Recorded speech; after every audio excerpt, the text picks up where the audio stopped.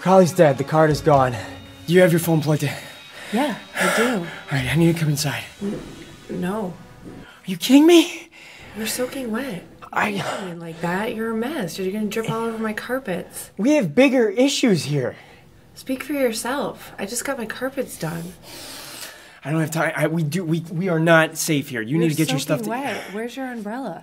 umbrella. Did you not see the news report? It's gonna rain today. I didn't have time to check. You let me inside right now. Uh, okay, let's get you cleaned up here. Okay, um, you could put some calamine lotion on that, or um, you know what? You want me to take your temperature real quick? Ooh. Uh, oh, here's some uh, expired cough syrup. That's a suggestion. Usually those dates. Um,